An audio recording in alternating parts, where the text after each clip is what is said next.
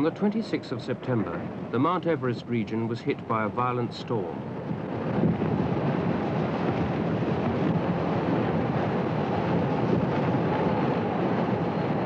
That night, a huge slab of ice broke away from the ridge facing the southwest face of Everest and crashed down into the valley 4,000 feet below. Half the tents at Camp 2 were flattened by the blast. The 1975 British Everest expedition was over. The leader, Chris Bonington, ordered the mountain to be cleared.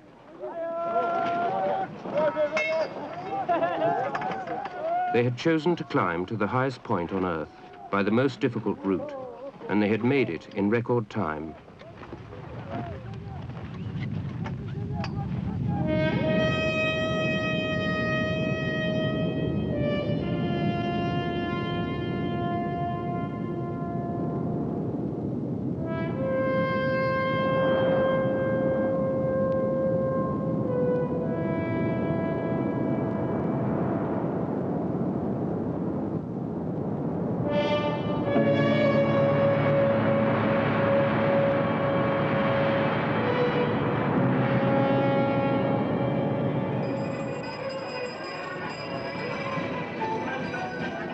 steady monsoon rain, Kathmandu ceases to be a mecca for hippies.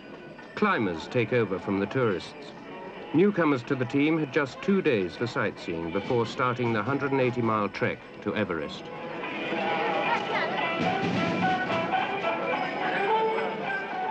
They had been chosen for the biggest, best equipped, most experienced expedition ever to leave Britain for the Himalayas.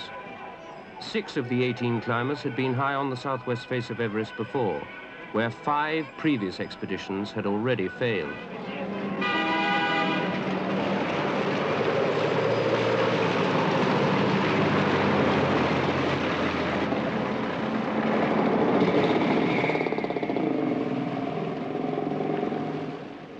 Twenty-five tons of food and equipment had been flown in before the monsoon broke. Now all planes were grounded by the weather, and the expedition needed a hundred porters to move them to the mountain. Throughout the expedition, Chris Bonington was to carry a small tape recorder, which he used as a personal diary.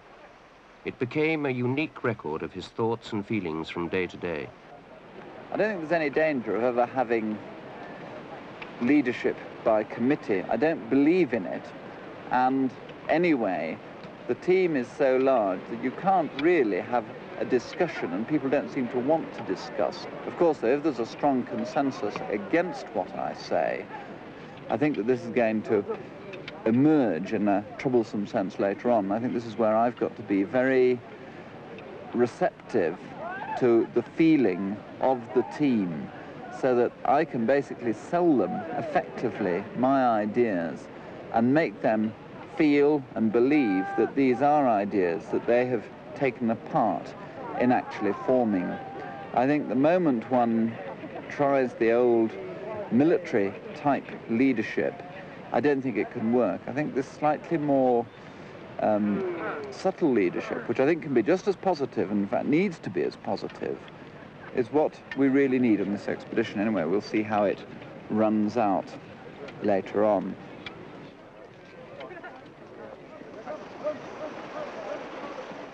Once outside the towns, Nepal is a land without vehicles and without roads.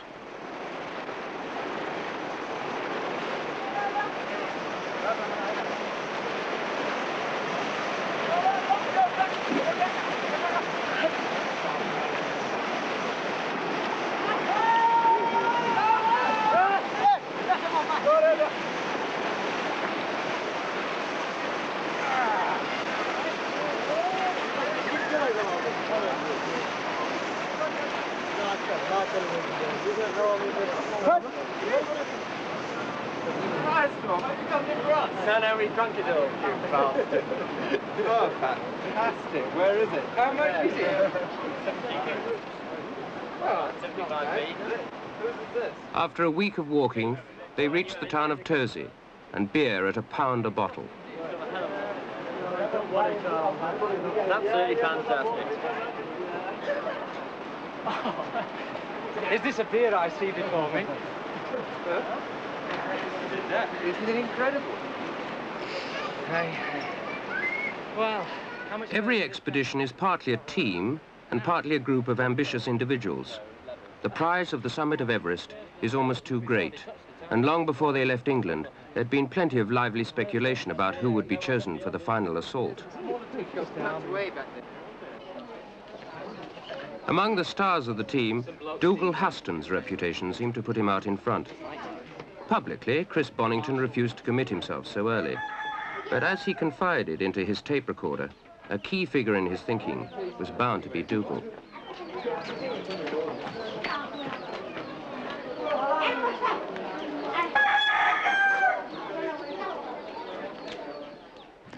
He reckons he wants to get to the top. He reckons certainly that he deserves the top and that he's certainly the best person to go there. Um, I'm inclined to agree with him. Uh, Dougal did raise the point, wouldn't it be the ideal if he and Doug Scott were paired up? Um, I countered this, though, with the fact that I couldn't possibly put the strongest pair together right at the beginning. I'd much rather Dougal making his summit bid, as I think he probably will be in a position to do it, um, in conjunction with someone like Tut Braithwaite. Um, and it's simply a matter of making sure he has partners who are not going to let him down. For Doug Scott, this was his third attempt on the southwest face of Everest. I mean, when you're here, you want to be at home. when you're at home for three days after the trip, you're about ready to go back again. At one time, I thought it was a paradox that I got to live with, but it's not. It's just a fact of life that when things are comfortable, you want them. A bit of adventure. When you've got adventure, you start thinking about comfort again, and you know, it's something you just have to live with.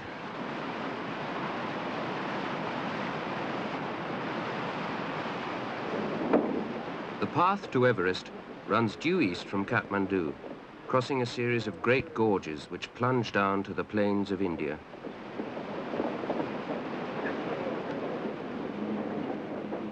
The route lay across steep ridges, sometimes as high as 12,000 feet. Each afternoon it became a race to reach the campsite before the heavy rains began. Where's the D then? Yeah.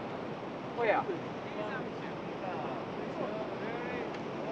Yeah, okay. Oh, Connor, very, very good. Actually, on all the expeditions I've been, this, the food we've had so far is Bloody by far the fantastic. Yeah. It's, um, really good. I think there's a serious chance of us not making Good. it if the stuff's like Well, I I don't. I think the approach march um, gives one more of a chance than anything to get really fit. I wouldn't miss it. But this is so different from last time, isn't it, Nick? I mean, last time it was we had the first day was fine. It rained almost. And it rained every single day Yeah. until the day we got into Namche Bazaar. and everything was wet, you know, and it was um, it was a real Monsoon hassle. fails. Yeah. Pretty bad for India, but it's not bad for the Everest expedition. We're round about the same as the Japanese were in 1973. But they, of course, were caught by, they ran out of good weather on about the 3rd of October. And by that time, in theory, we could be in a position to make a summit bid. But um, that depends on the kind of weather we get in between. For the final stages of the march, the expedition was going to need 100 climbing Sherpas and as many as 400 porters. To control this small army, Bonington had gone against local tradition and appointed the youngest Sirdar ever to go to Everest, 28-year-old Pertemba. Pertemba's terrific. He's totally and absolutely one of us. He's a real climber. I must say, be good if him or one of the best Sherpas gets to the top. I'm sitting and trying to fix it that it happened that way.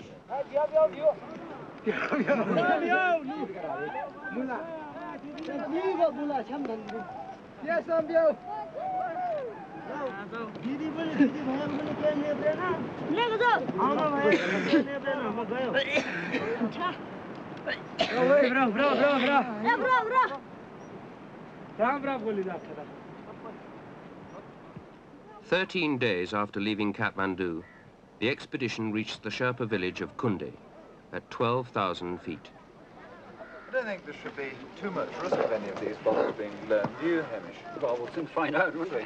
Their first concern was the state of the oxygen. Five bottles had blown inside the lorries on the long journey from England, There was a real danger that the rest might have suffered as well. I can just throw Stuff that in there bags. for the... Where are the stuff bags? Oh, we're just doing that for the stuff there. moment. What kind of pressures are these designed to burst at, the bursters? Uh, 5,000. We'll do this one because this is the Yeah, that can actually go be put away. Yeah. You stick this one inside. Could I have the knife, please? Is it boys who got the knife? Yeah. Yeah. Fancy sweaters. Fancy stuff. Yeah. And teams. So what about these stuff bags here as well? We got some. Well, yeah. nothing. Now we'll see. Ah, That looks all there's healthy, no doesn't it? problem there, is it? 3,300 psi. But when I heard that the those five bottles had blown, of course, having actually supervised the packing, I thought, my God, thought. was it my fault, you know, that the things had gone? I Louise, how were they packed? yeah, I know, quite. So thank God it wasn't there. If the rest of the bottles had been faulty, then the expedition would have ended here. So, we'll chat. on,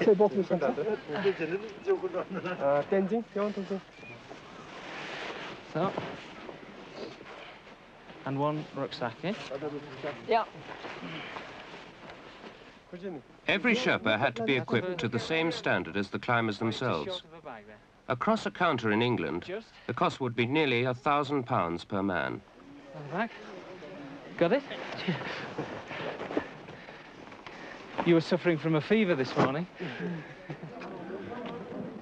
Well, gentlemen, welcome to the annual board meeting of British Everest Expedition Incorporated Limited. Um, I think I'll just keep it as short as possible and go very briefly through the immediate plan as far as the, the kind of grand strategy on the mountain goes and also on the actual composition of the members of the uh, different lead groups on the mountain. I'd much rather leave this um, until after we've climbed the icefall because then I think it'll A, be emerging how different people are going and B, will have spent much longer together as a single group as opposed to two separate groups.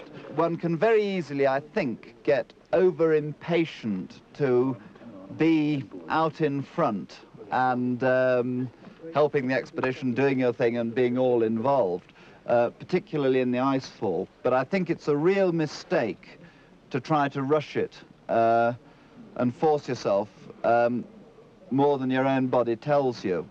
Um, but I think this, this business of acclimatization, I, I think it's something that only the individual can decide for himself. I mean, if you're going really well, there's no ready point in staying back acclimatizing. But if you're, if you feel you need it, and you do need it, um, it's lunacy to press on. And where there's Christ, there's stacks enough of us uh, for people to be working in the icefall and other people to be resting and acclimatizing.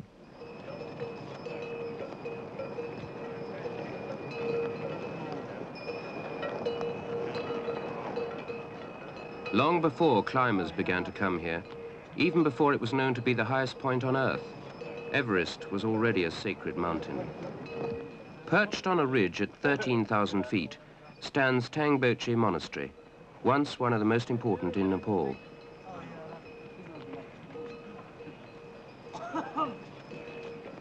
Twelve miles to the north, the climbers had their first view of the towering ramparts of the southwest face. But before moving on, they paid their respects to the head lama.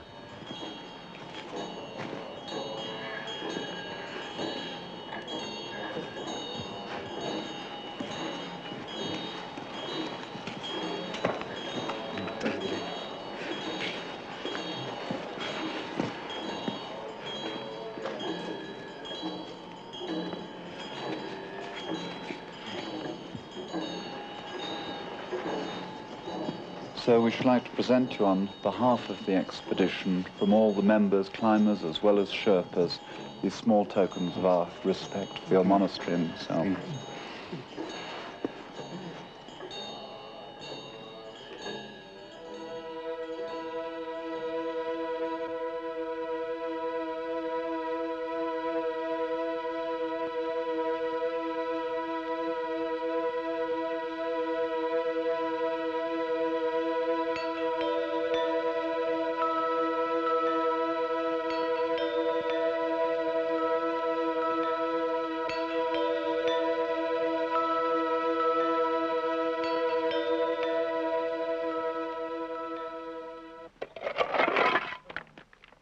August the 22nd, base camp was established. Built amongst the rubble of the Khumbu Glacier at nearly 18,000 feet, it looked on that first day about the most desolate place on Earth. I must confess I feel somehow a little, um, almost frightened, I think, the, suddenly it is very much, you know, my responsibility holding the whole thing together, keeping the whole thing moving. And yet I think I've got a really good team who'll back me up to the hilt. Everyone seems to be prepared and wanting to help.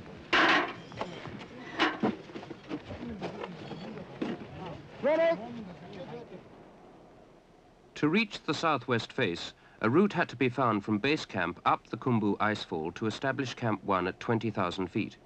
The icefall was potentially the most dangerous area of the whole climb. A frozen cataract, one and a half miles long, composed of gigantic blocks of ice and slashed by deep crevasses.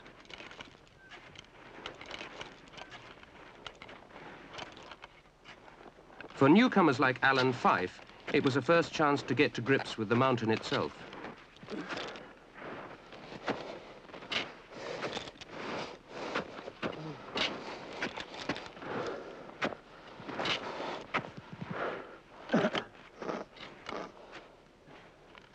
Base camp was rapidly growing into a canvas shanty town. I'm afraid not. Your wife is living it up in the south of France. Hmm. All these wild Parisians. How'd it go anyway? You Well, you know, it's easy a little bit. Well, I think probably it's certainly going to take us tomorrow. Right. And I think it could be another day, in fact. Oh, it before may we've well, got may the well be. Yeah. Oh, good grief, look at that. Oh, God, that's And that's coming straight down your line, I think. I, whatever we do, have to go we just right. must work right across to the right. I mean, anyone in that area would be smashed. If you walked right up underneath the cliff and then skirted round it, you know, hiding in the cliff, Yeah. and then cut straight back right. It's very foreshortened from here, Dougal. You, know, you Yeah. see, when we went round, Yeah, I know where it's, you're it's, it's, it's round what looks like the biggest Serac, Yeah.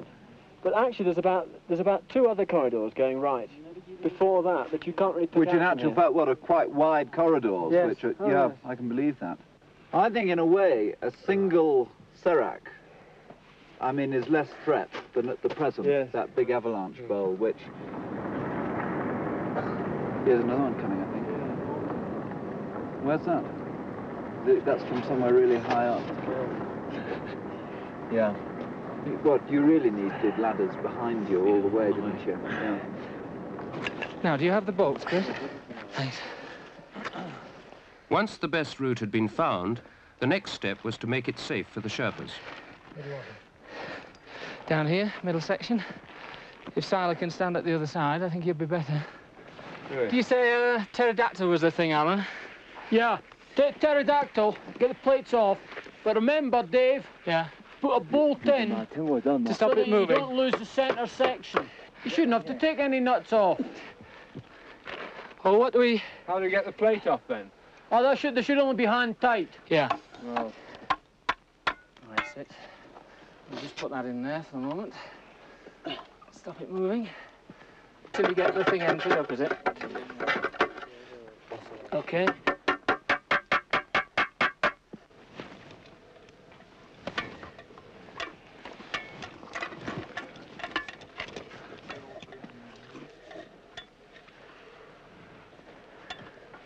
Okay. A week after this ladder was secured, it was buried under the debris of a huge avalanche which came down from the west shoulder of Everest, sweeping away 400 yards of the carefully prepared route. Hold it. If you, when we'll, we'll push down and you heave up, eh? One, two, up. Right. We can't give you much more, really. that's about it. Down at base camp, Chris Bonington suddenly found himself at the center of an impromptu ceremony. Pertemba poked his head through the door of the big box tent and said, Ah, Borisab, you're needed.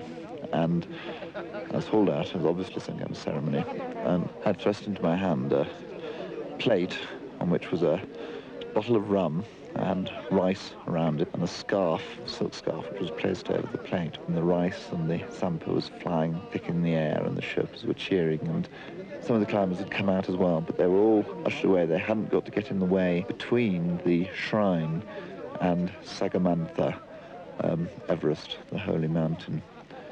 It was um, a very fine ceremony, a mixture of laughter and tears, and I must say I hope it does protect them all. Carved on the boulders near base camp, a reminder that Everest has already claimed 23 lives. Most of these have been Sherpas caught in the icefall. Of the climbers who have come to the Himalayas from other countries, one in 10 has died. Even on the lower slopes, the danger is there. As the Buddhist ceremony came to an end, it was noticed that a young deaf and dumb porter was missing. Immediately, search parties spread out across the glacier.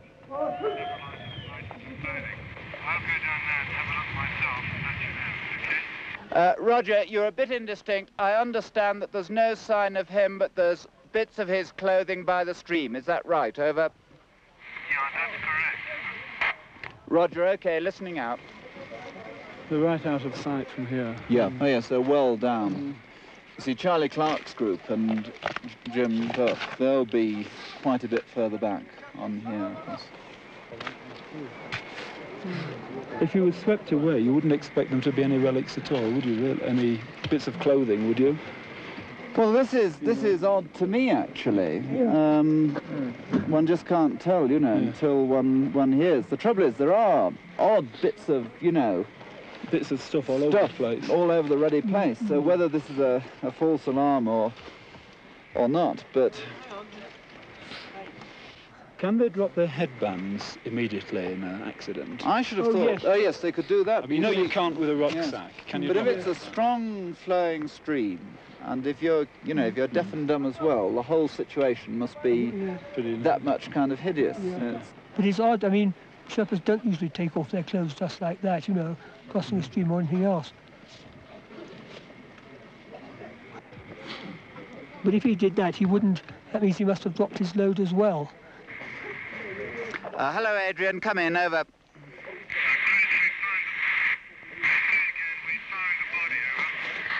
Uh, Adrian, Roger, can you recover it safely? Over. Uh, yeah, it should be no problem, Over. Would you like a stretcher for carrying the body down to Gorakshep? Over. Uh, Roger, okay, uh, we'll bring a stretcher down straight away. Over. Uh, hello, Mike. Uh, unfortunately, the lad has been drowned. You can come back. Over.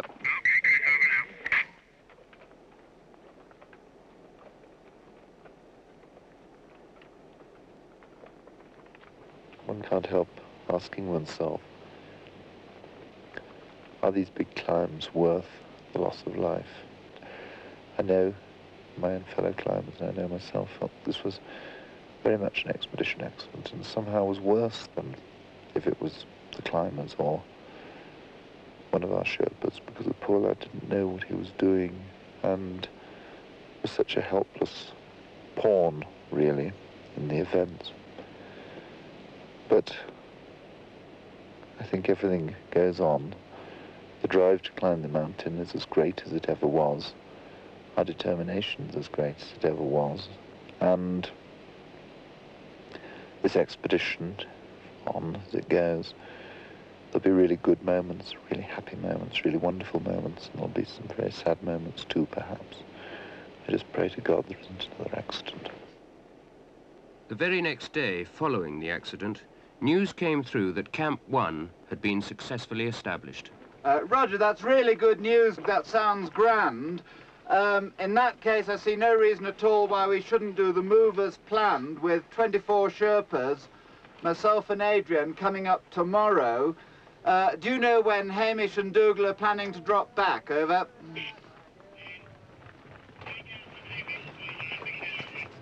Okay, see you then uh, tomorrow morning and enjoy your bottle of whiskey tonight. Um, handing over to Mike now.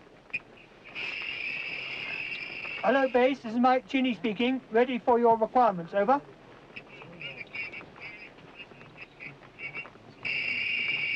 What's that? More whiskey? One bot whiskey. Over. Um, it came up this morning. Wait, I'll ask Adrian which packet was in. Nick Estcourt had it. Hello, the bottle of whiskey was with Nick Estcourt. With Nick Estcourt. Over.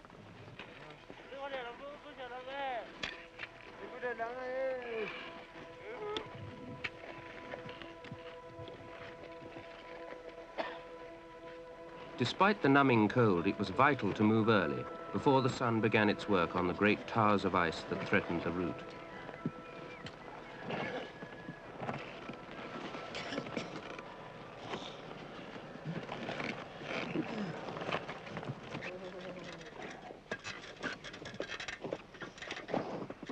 The entire icefall is moving at the rate of two feet a day.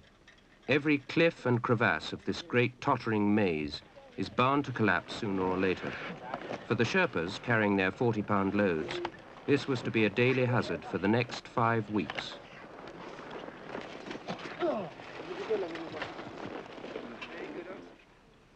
During the Japanese expedition in 1969, six of them were killed in a single catastrophe.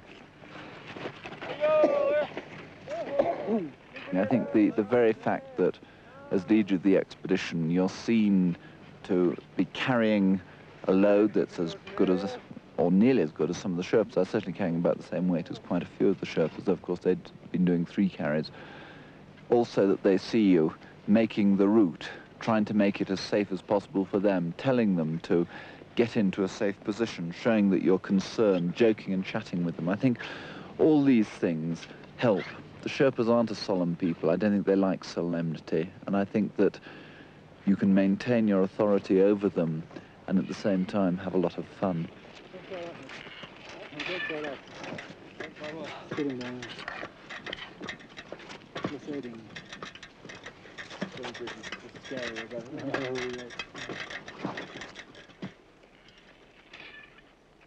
At this stage, Doug Scott, amongst others, was beginning to feel the frustrations of working in such a large team.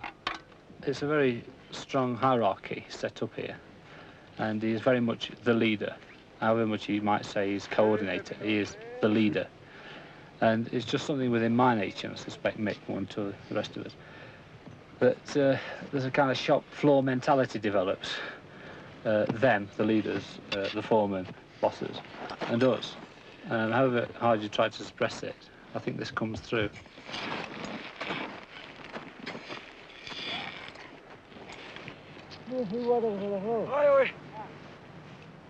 In recent years, the Sherpas too have become much more aware of their status. They run great risks for less than a pound a day, and several Himalayan expeditions have ground to a halt simply because the Sherpas lost confidence in the leadership. But this time, there was no doubt they had complete trust in Bonington, and they showed it by the way they worked.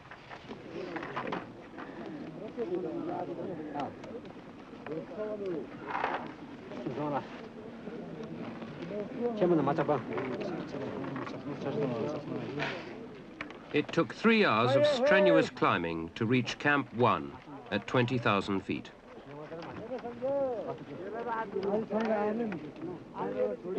From here, the real Sherpa elite, the high-altitude porters, took over. Many of their fathers and grandfathers had been on earlier Everest expeditions.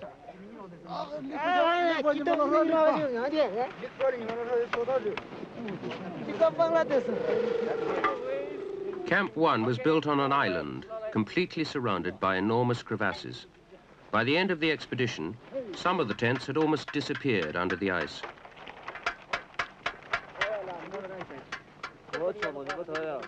The deputy leader, Hamish MacInnes, took charge of the bridge building operations. He described the area around Camp 1 as like a huge sliced loaf slowly opening. In three visits to Everest, he had never seen it looking so dangerous. Tell them to come down with it. Just a bit right over there a bit. Make sure you don't fall through.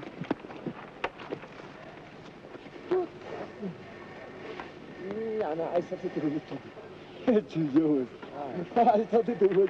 what about down there? No, put one more section on, Uncle. While the route was being engineered, Dougal Haston and Doug Scott were out in front, beginning to form a partnership. Can, can, uh, oh, wait, Angpo, wait a minute, wait a minute. Can we get uh, the Sherpas right up over the bank there so we can pull the ladder? Yeah, we are. With the rope, okay? Yes. Okay, slowly, slowly, slowly. Bistari, bistari. Uh, keep it, keep it tilted over this way a bit. Back over this way a little bit. Bias forward to the left. Angpo, over the left. Uh, not, don't pull too much. Let it go over a bit. Right, okay. Turn it over now. Twist it now. Twist it. In 1953, John Hunt's expedition had brought just one ladder with them. This time, over a hundred aluminium sections were hauled up the mountain and slotted into place. That's fine. Take that rope over there, would you? Oh. Up over behind camera. Yeah. yeah. Okay, we'll try and twist it, Allen. Right, up. There we are. Watch it. There it go. That's fine. Oh, great. Shabash. For Mick Burke, this was his second visit to Everest as cameraman and lead climber. Hold it, Mick. Hold it. This rope's dangling.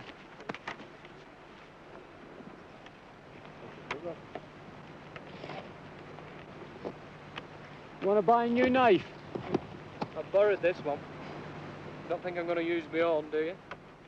I think the thing with Everest is that um, it'd be very difficult if you didn't come on an expedition and they got up, because then you'd never know whether you would have been one of the people who got up. Whereas if you do come and you don't win the lucky prize in the raffle, at least you were there and you did buy a ticket in the raffle. So you've really got to come. I mean, once you've been once, you've got to come the next time. Well, it makes no difference what you do. I love you, babe. I don't want to drink more. Indeed, I do.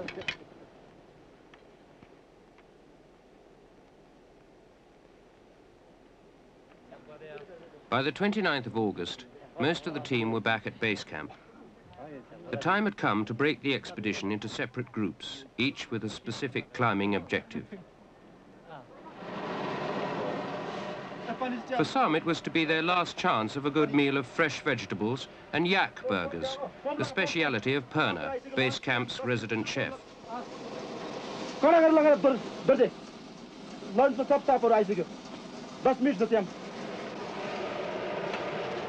Das gut Der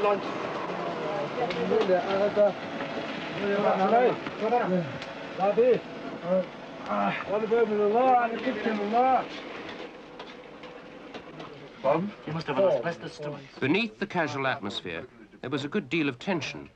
They all knew that their chances of reaching the summit might well be decided in the next few minutes. Managed to force in another fish Got a few more. Or a quarter of one, anyway. Oh, clever bit of attention, please. Um, I spent the last um, three days just about playing around with a per permutation of names to sort out what seems to be the best, fairest and pleasantest um, allocation of roles up to um, Camp 4. Um, I certainly don't think we want to think beyond what's going to happen at Camp 4 because so many other things can um, alter as we go. But as far as the run out to Camp 4 goes, um, of course we've got um, Hamish and Dougal, Doug and Allen, um, with Mick Burke filming, up at um, Camp 1 at the moment, pushing the route through to 2. As soon as they've pushed the route through to 2, um, Ronnie, who's going up to Camp 1 tomorrow, will join um, Doug and Allen and Mick to form kind of the first group. And they'll push through to 2 and push the route through to Camp 3.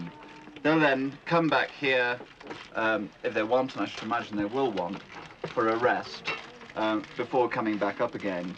Uh, the next group, I've called it the B team, uh, which will be pushing the route out from 3 to Camp 4, will be Nick and Tut with two Sherpas. The reason why I've put two Sherpas in with them is that it's a, a particularly long run, uh, requiring, in fact, quite heavy loads carried by the Sherpas. And Pertemba, could you pick two really good Sherpas to go with um, Nick and Tut. From Camp 1, a way had been found up the western Cwm, and Camp 2 was now established at 22,000 feet. From there, the expedition planned to make three camps on the southwest face itself, starting with Camp 3 at 23,000 feet. This site was later abandoned in favour of a slightly higher Camp 4. The route then led up the great central gully to Camp 5, precariously perched below the rock band at almost 26,000 feet.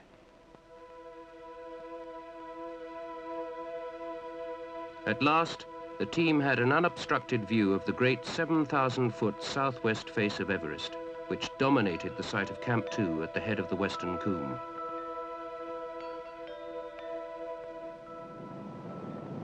Snow conditions looked very dangerous. For several days, the climbers watched the avalanches pouring off the mountain. The only safe way up seemed to be on the right-hand side. With Doug Scott in the lead, climbing on the face itself began.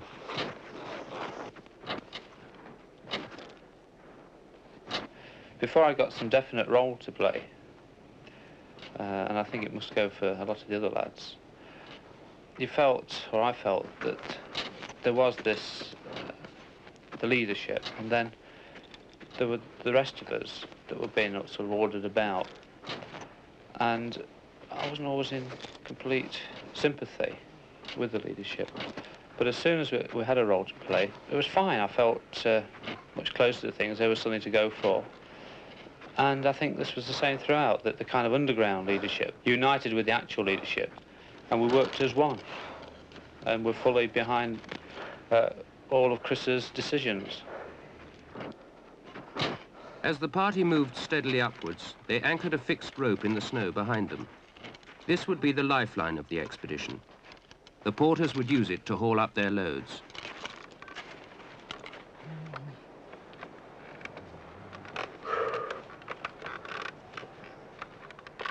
At 23,000 feet, they came to an overhanging rock.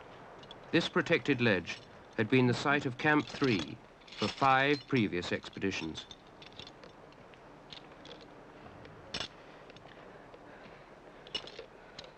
All that remained were a few old ropes, some tins of Japanese bean sprouts, carabiners and long metal ice screws.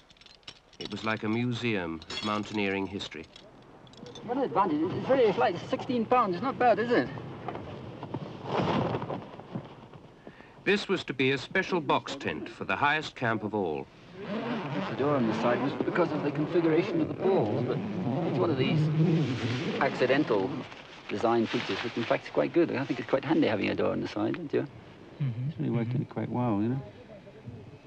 But I, I, don't suppose we'll ever take it down again. If it goes up to Camp 6, it'll stay there, you know. Well, it doesn't seem to be much point. And anyway, it won't offend the ecologists, so, because it's uh, it's going to be blown away within a season anyway. Yeah, well, it's green too, isn't it? They're, yeah. like green colours. Not very big, of course, but still, it's um, high altitude bed and breakfast, 27,000 feet. Well, Not many houses as high as that. I was looking at the pictures, and the, certainly the site looks pretty small. I reckon it's just about the right size for it.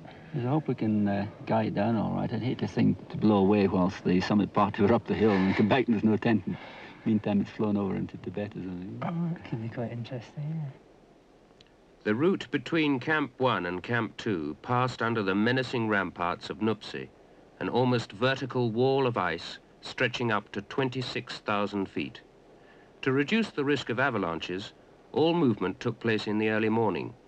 But once the sun rose above the summit ridge, it seemed to suck the air out of the reflecting bowl of the western Cwm, and the climbers found themselves gasping for breath in that great oven of ice. You look as you've got a big, heavy sack there, Mr. Clarke.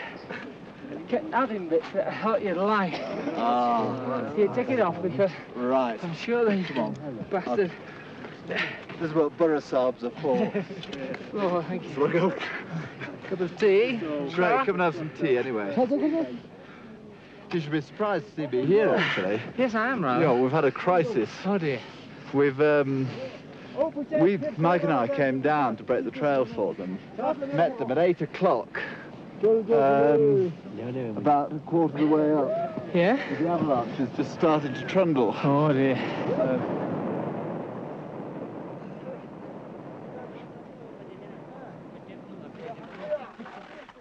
But for Bonington, the monsoon had one enormous and unexpected advantage. He found he could count on clear windless mornings to move up supplies before the regular afternoon snowfall. Not a single day had been lost through bad weather, and incredibly, he was three days ahead of his most optimistic forecast.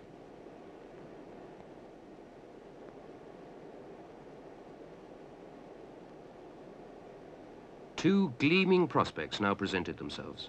They had a real chance to climb the mountain before the end of September, and he might also be in a strong enough position to give all his lead climbers a chance for the summit. With very little protection from above, Camp 4 clung to the face at 24,000 feet.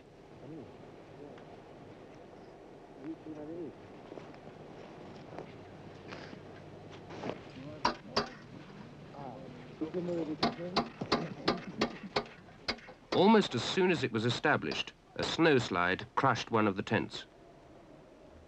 To prevent it happening again, sheets of toughened nylon were stretched over the roofs so that any further falls of ice or rock would shoot right over the top.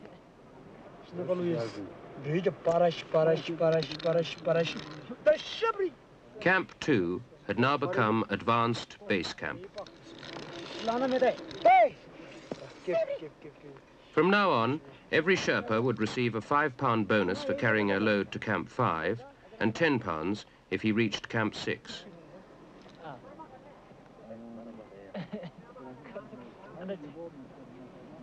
I think one of the things that is somehow touches me most of all is the acceptance of my command that these really great mountaineers, because Dougal is a great mountaineer and so is Hamish, and it really, I think it brings the best out of you. I feel a strength in me that I somehow sometimes doubted that I had before the expedition when I went into the kind of absolute blind stage fright, almost terror of this giant responsibility that I've built up for myself. And yet, I think I have got that strength. I think that whatever happens on this expedition, I think I can bear this expedition. I think I can bear all the problems, all the tragedies that could. I hope to God they don't happen. That afternoon, a Sherpa was brought off the mountain. And that demand valve's working all right, I think, isn't it, PT? It's on Yeah. four, it's fine. Great. Nima was very breathless a few hours ago, blue, coughing a lot, and really looked extremely unwell. We've had him on oxygen, on a demand system, and already he's very, very much better, relaxed, able to sleep, and I've no doubt that he'll make a good recovery. Normally, we'd try to get the patient down to a low altitude as quickly as possible, but it's now late afternoon in the Western Cwm. It's thick cloud, and there are a lot of avalanches coming off Nuptse, which may cover our route. And I felt that really, as he's made such a very good recovery on oxygen, it's better to weather it the night, give him drugs if necessary, and then take him down tomorrow morning to Camp 1, and then to base camp through the Khumbu Icefall. Anyway, you all right now? What the hell am I doing? Sunday the 14th of September at just about 2.30 p.m. We've just had the two o'clock call and Dougal has just let me know that he thinks he's found the perfect campsite for Camp 5. It's quite different though from what we'd originally thought. It's on the right-hand side of the gully. Um, I suppose it must be about a thousand feet above the original site of Camp 4. It certainly requires quite a lot of different thinking. We could see them today. They were tiny little black dots moving very, very slowly, seemingly, up the big central gully. There was Dougal, Martin, and Pete, supported by Angferb and Tan Singh. I think they were quite a long way behind them. Um, unfortunately, Hamish was forced to return. He got himself involved in a powder snow avalanche very early in the morning. Apparently his oxygen system hadn't been working properly either, and he got back down seemingly quite badly shaken. A lot of powder snow had actually got into his lungs. For Hamish MacInnes, it proved to be the end of his active participation on the climb.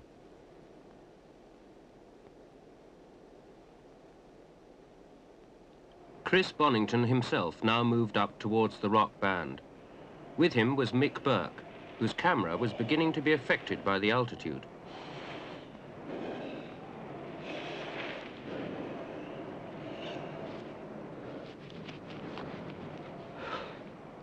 For the next phase of the climb, Bonington based himself at Camp 5. He had already decided that it was not the job of the leader to make the first summit assault, but he wanted to keep in close touch with the climbers who were forcing the route.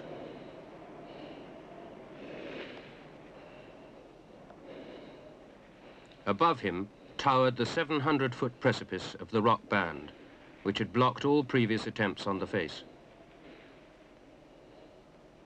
From his previous experience in 1972, and from studying photographs of the face, Bonington knew that the only possible route up the rock band would be one of the gullies at the left-hand end. If a way could be forced through this vertical cliff, Camp 6 would be established here for the final push to the summit. The first to attempt this great unclimbed barrier were Nick Estcourt and Tut Braithwaite. It's just like a big Scottish, giant Scottish gully. And uh, he went across and found another belay, and I went up. Then the oxygen, the oxygen, the oxygen ran out. Shit. And it was about 27,000 feet. Uh, that was going to burst. I just panicked. Yeah, actually more. I right? really did. 20, 27 and a half, yeah. yeah. I just panicked. I mean, I didn't myself. You know, there's nothing. And uh, I pulled, I pulled the mask off and got some, just, just hung on there and got a pit and hung on to it, and just went on for about another 30 feet.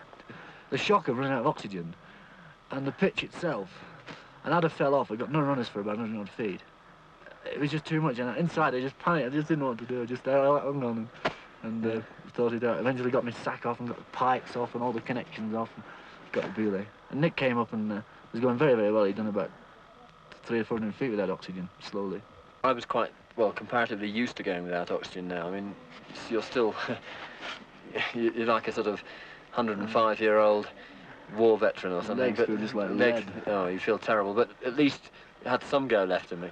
And I started up this gangway, and the first, well, the first 20 feet or so was quite easy. Sort of, it's what it is. There's an overhanging wall like this, and a ramp going across it, and um, the wall is made of very compact, very hard rock, rock like the rock band. But this is made of very messy, loose rock, covered in, because it wasn't quite vertical, covered in very soft powder. And the only really good hold was I could wedge my arm um, behind the sort of snowdrift, and you just hope that this great boss of snow would stay there, because you're hanging with most of your weight on it. And I inched my way slowly up this with my arm hooked around this thing, trying to find footholds. And I remember in a state of absolute desperation trying to get a piton in, and I scrabbled some snow out from the back, holding on with this part of my arm, scrabbling snow out with that part. Um, and I found a, a little crack about an inch wide, and I got a piton out with an enormously difficult, because snow everywhere, goggles all misted up, absolutely panting helplessly. and I got a piton out and put it in this crack, and then had an incredible struggle to get the hammer out of my holster because it, the, it got jammed in my holster for some reason, or I don't know quite why. And I eventually got it out, but I think they thought I was falling off. And I, was I, thought, I thought you were falling off. yeah. and uh, I wasn't going to give up because I knew if I gave up trying to do this pitch and he had done it, I'd have been kicking myself for years. Anyway, I eventually got this thing, hammered this piton in, and it was obviously useless. But if you pulled it just in one direction, it was safe. so I, I managed to lean out on it a little bit, walk my feet up, and then walk my other arm in, and then walk my second arm in. And um, I went on um, another, I don't know, 30 or 40 feet, not very far. Just there was an obvious big shore. Just- which just- was, right, which was obvious, obvious at the top of this, you know, rock Yeah. band, and uh, It's a rock band really that stops seven other expeditions. Mm. I hope we find a way through it. I really do.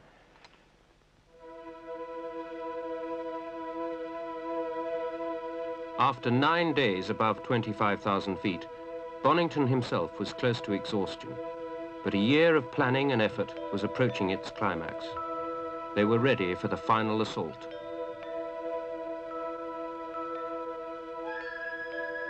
It's these moments that make Everest so worthwhile.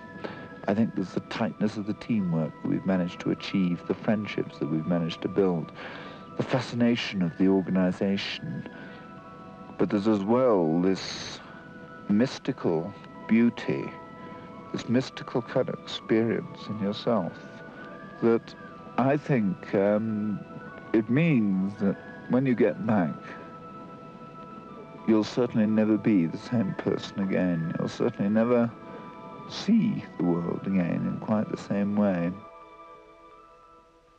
At 3.30 on the morning of September the 24th, Dougal Haston and Doug Scott set out from Camp 6.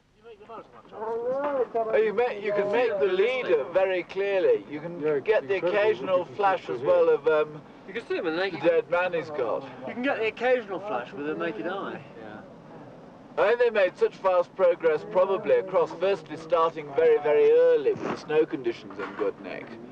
And of course the line of fixed rope. The only worrying thing is the end of their fixed rope must be at least um, 400 feet behind them. Did And it they've worry just got that one length of rope with them. What about the time thing? Like oxygen. They got two. Oh, they've got two bottles of oxygen. They've got no problems there. Seven they're hours. very early. You see, they're, um, let's see, 10, 15 now. Say they left at, um, they said 3.30. I bet they didn't leave before 5. Yeah. Um, 5, 6, 7, 8, 9, 10. Working hard. I reckon they're getting towards the end of their first bottle of oxygen. And the key thing is, I'd say that, I mean, they're 100% certain Of getting to that. to make the South Summit. Oh yes. Yeah. Yeah. yeah. And oh, they're not 100% certain of making the summit. But I should have thought that the second party Whiz. must make the summit. Right. And if they don't, um, third definitely. Oh yeah. well, with a bit of luck, your third Who's in the party should have a complete line of fixed rope right the way across the Hey, look at that and up hole the coming gully. down that groove on the left. Whereabouts? Yeah. Through the long lens of the camera, the avalanche looked as if it would engulf them. In fact, it missed them by about 50 yards. As they moved higher up the mountain, the snow conditions became steadily worse, as Doug Scott recalls. The snow was really bad in this gully. It was soft. We were sank up into up to our thighs. At one point, we were actually wading um, with the snow up, up near our chests, and it took, I suppose, about a couple of hours to get up this gully to the south summit. Well, Dougal was all for bivouacking and getting up three o'clock in the morning when the snow might have hardened but I can't say that I'm at my best at three o'clock in the morning, especially after a night up there. And I was all for pushing on there and then. I mean, there was the summit of Everest, and we had got time, it seemed, to reach it before it was actually dark. The watchers at Camp 2 were growing anxious. For six hours, there'd been no sign of them, and by late afternoon, it began to look as if they must have turned back. Hey, there's, there's lumps of snow falling off the top of that spur above. They're still going uphill. I thought I saw somebody kicking steps, you see. There's somebody, there's something, there's odd lumps of snow. Right at the top of that spur, That yeah. little step, that little step, look. Yeah. You see snow blowing off? Yes, and to the right there's a body. Now watch, and every so often you'll see a lump of snow fall down. They're still going uphill. Time shortened. I mean, there's no way they can get back to their camp. It was now certain that the pair would have to spend the night on top of Everest. The chances of surviving without frostbite were remote. Uh, hello, Pete. Now, I think this means that your role tomorrow could well possibly, rather than being a summit role, could be a rescue one. Um, it is absolutely essential that you get the three reels of rope up to Camp 6, and I think perhaps start, if ideally tomorrow, actually roping out towards the um, the gully leading up towards the south summit because it's just possible they'll be in a very bad way when they come back. Is that understood? Over. They now knew that Haston and Scott were trying for the summit that night. The last serious obstacle was the Hillary Step, a rock buttress encased in snow. After the Hillary Step, the angle of the ridge was quite gentle, like a huge whaleback. And we took it in turns to break trail through the crusty snow. Uh, great slabs of snow would break off and tumble down towards the western Cwm on our left. Then, to their astonishment, they saw the strange metal tripod left by the Chinese expedition in the spring. A few more steps, and they were on the summit of Everest. Well, I suppose we got there just at the absolute best time possible. It was a bit uh, awe-inspiring being there just before dark, and then you've got to get back somewhere to sleep. But we did see the most incredible sunset, um, far better than any sunset I've ever seen in the mountains before. And we're looking down on the sun setting. Well, it seemed to set several times because there were layers of clouds that kept drifting in, and the sun would explode behind them. And then it was casting Everest's shadow right into Tibet, and that was all purple and, and brown in Tibet, and then it was all white going pink in, in Nepal. It was just a fantastic sight.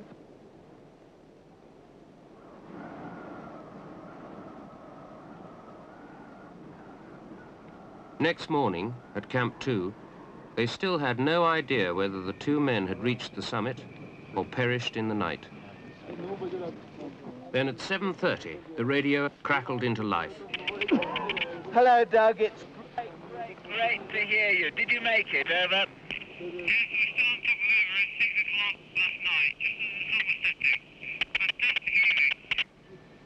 Wonderful, Doug. Congratulations from every single one of us. How are you? How are you? Over. Uh, Roger, okay. Do you think you've got any frostbite? Over.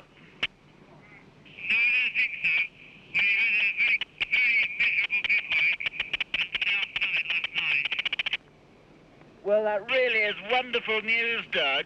Uh, the other lads uh, will probably be with you very soon. Um, do you want to, why not put a brew on now, get yourselves warmed up. We're on open it, we're listening out the whole time. So as soon as you've got yourself sorted out, you can come back to us. But meanwhile, congratulations from every single one of us. Well done. As Haston and Scott prepared to descend from Camp 6, eight more of Bonington's lead climbers were already moving up, hoping for their chance at the summit. It's a difficult problem for me now. We've climbed the mountain, we've got success, but obviously my other lead climbers want a chance at having a go at it. And each one of them uh, is raring to go. So I think I'm going to have to, provided the high winds don't come in, and there's a sign both from the long-distance forecast and also the way the winds are scudding over the top of Everest and Lhotse, that the winter winds are beginning to arrive. But I think I've got to let them have their go.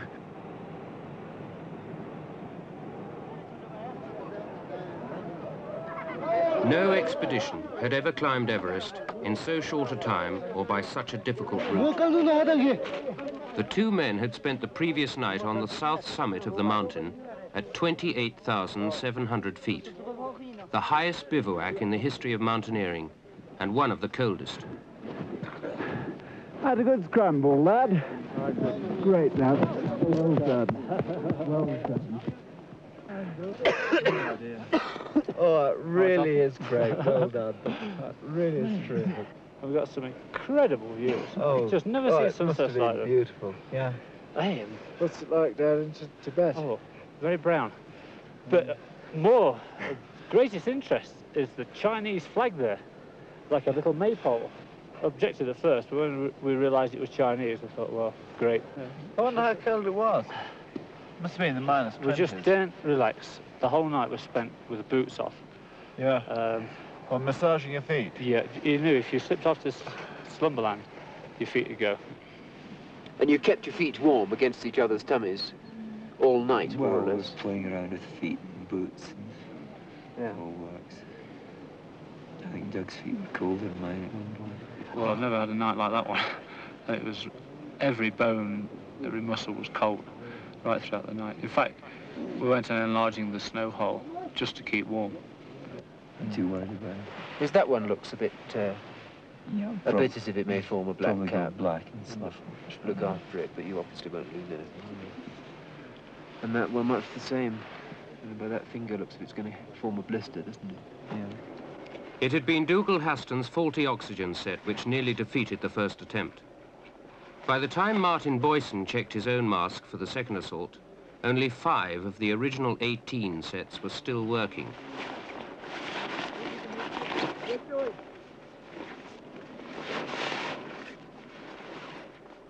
At such altitudes, no one with defective equipment has much chance for the summit.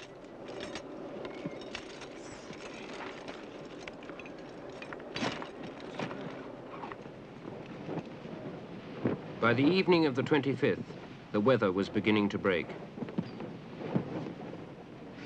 I was more tense, I think, than I'd been at any other time during the expedition, even during the summit bed. I was definitely unhappy about this second attempt. Mick Burke, for instance, had been up there at Camp 5 now for nine days, and I'd actually, when I went down for a rest myself just a couple of days before, I had tried to persuade him to come back down with me, but he was confident that he was going well, and he convinced me that he'd be all right, but I still had that lurking doubt in my mind. He is going so slowly that there would be a situation where he must be left behind. And if he was left behind, uh, something serious could go wrong. Pete Boardman heard the message at Camp 6. We agreed with Chris during our radio conversations that perhaps we should try and dissuade him. Then, uh, at four o'clock, all of a sudden the rope jerked. Mick came into the box, and he was just Mick. He wasn't a tired Mick at all. He was just uh, the chirpy, bright Mick that uh, always seems to be able to pace himself and keep going.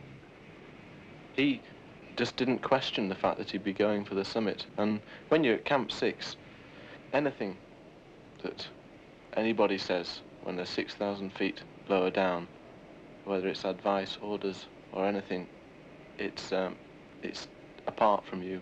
And there's nothing really that, that from down there that could stop you if you really wanted to go for the top. Next morning, at first light, the four men set out for the summit. Mick Burke, Pertemba, Martin Boysen, and Pete Boardman. Martin was going first, and he was only going about three or four paces at a time, and uh, he sort of mumbled through his his oxygen mask how how he wasn't going well, and screamed at me to take over. We exchanged a few words through oxygen masks, and uh, I over overtook him. Eventually I reached this rock step and uh, Mick caught me up. I thought, well, I'll, I'll struggle up this rock step first and then, you know, if Mick's going faster, he can overtake me as well. And um, I struggled and struggled and I just wasn't working at all well and eventually I noticed a crampon had dropped off. And, and then I noticed on my other foot that uh, it was also without a crampon. So I, I, in fact, lost two crampons on this rock step. One I picked up, and the other one I just saw gently rolling down the slope. Uh, I thought, oh, God, that's it. You know, I uh, might as well turn back. And Mick, he, he was saw this and said, oh, hard luck, old son. Yeah, that's it. Uh, cheerio. And I said, well, wished him good luck with as good a feeling as I could manage. And uh, I staggered back in the dark to the tent, and the others went off.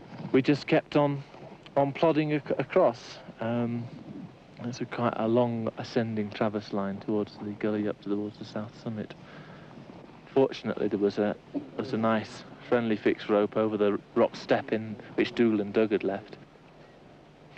I woke up ooh, about 11 o'clock, and uh, might have been a bit earlier, and uh, I looked out, very, very windy, uh, and uh, I could see two figures on the summit of the south summit, and um, I could see one figure somewhere below going up to the south summit, which obviously was Mick.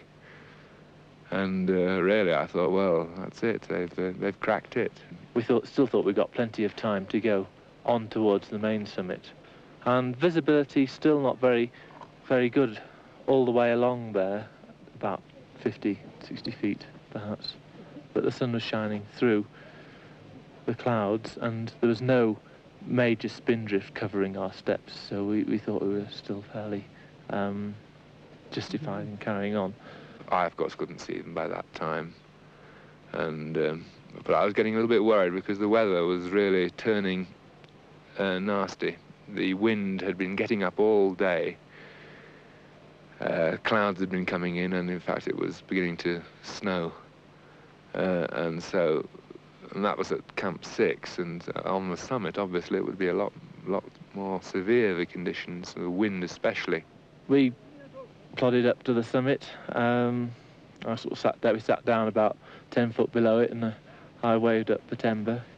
Um, we both felt very pleased and happy to be up there. Um, and after about half an hour, 40 minutes, we started off back down again. Um, fairly, very well, very confident that we were going to get have a nice sort of leisurely, safe descent and all of a sudden was, we saw Mick. I thought it was Martin at first. I, um, hadn't expected Mick to be have been going so strongly and keenly. It was great to see him. We exchanged a few words. He he seemed very strong, and he he wanted us to go back to the summit to film. But as we were moving roped, um, taking a bit more time, was we also wanted to conserve our energy for the way down we said, well, no, we'll, we'll go on. He did. He filmed us a bit. Um, we said, you want to come? He said, oh, I'm near now. I'll go up. To, that was the summit. So we said, all right, and we'll. Well, he, in fact, he said, well, will you wait for us? Uh, wait for me at the south summit. So I said, oh yeah, sure. Um, we'll wait for you down there. Um, and we set off again. And about in in the next within the next half an hour, the weather really deteriorated cons um, considerably. The the winds didn't increase all that much, but it started spin drifting a lot very fiercely. Uh, we could find it very difficult to see. Um, the snow started covering up our steps, and the weather was really very bad when we reached the south summit. Um, but that was within half, half an hour, say, having seen Mick. So I thought, oh, we'll just have to wait a few minutes here for Mick to catch it, carry, catch us up and we'll go down with him. Um, and in fact, we waited there over an hour, an hour and a quarter. I don't know how long it was, an hour and 20 minutes. Um, and we waited there until four o'clock. It was howling gale. Um, snow was really rattling down. The tents were rattling. And uh, I began to get extremely worried at that point because I was thinking, well, if they don't know, if they don't actually get back or if they miss the ropes uh, due to the um, whiteout conditions or, or anything else, you know, then if they have to stay a night out in that weather, then I thought that's going to be extremely serious. They could very, very easily die. Prob the probability would be that they would die, in fact. We could see about five feet at this time. Um, the snow was icing up our eyes, um, and we just felt we had to go.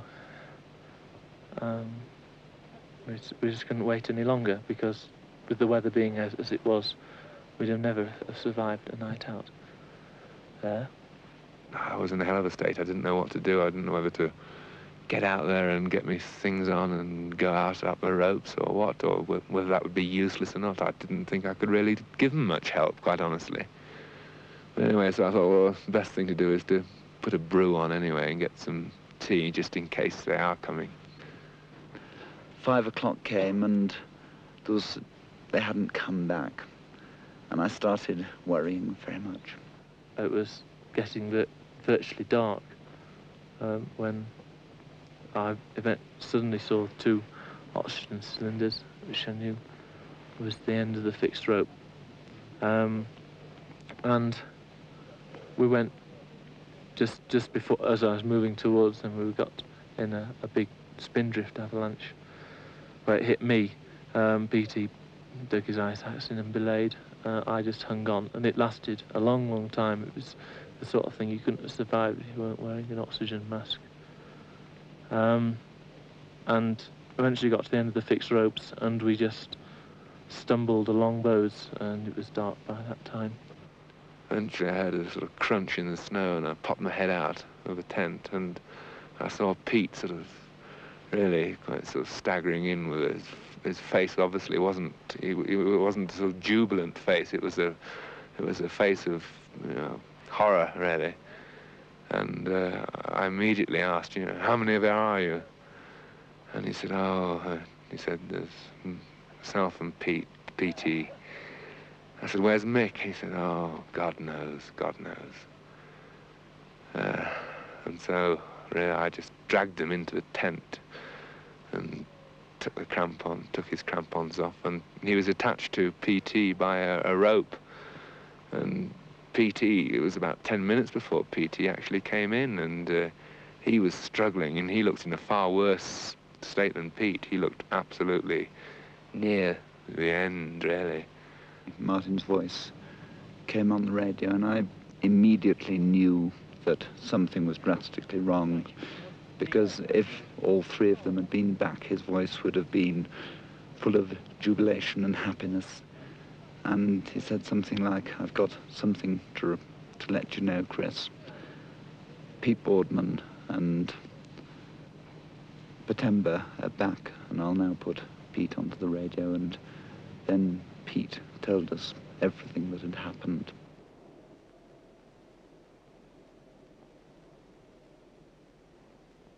There was a strange mixture of emotions as they came back down towards us. I think there's no doubt about it that I, and I, I think any of the lead climbers, would have probably done what Mick had done and gone for the summit on their own because everything seemed to be right at the time and Mick just took a calculated risk that I think any climber would have done. Ah.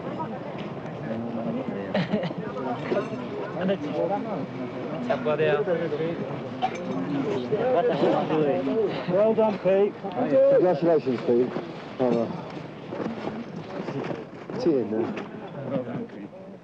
There was a feeling of very real sadness at the death of a good friend, but at the same time there was a deep feeling of satisfaction. We'd all put so much into this expedition. We'd had our previous attempt in 1972. We'd spent a year of planning, of real hard graft, of actually getting the expedition together. And then, of course, there was the climb itself. And I think everyone had pushed themselves harder than I've ever known before. But I think most important of all, we'd been a very happy expedition. And I think to me, this was even more important than our success.